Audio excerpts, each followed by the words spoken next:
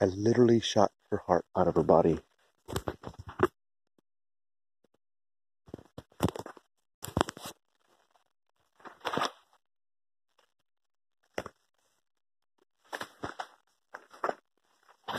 She's a big doe.